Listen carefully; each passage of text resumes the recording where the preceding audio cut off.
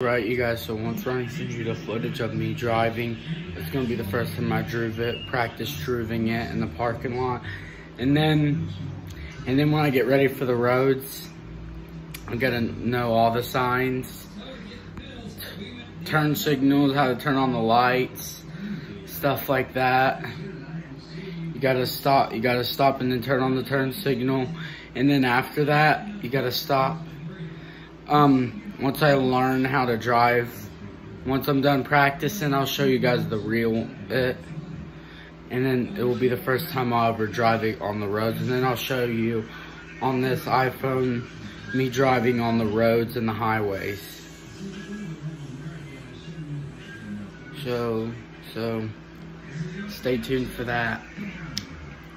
Bye-bye. Uh, don't forget to like and subscribe.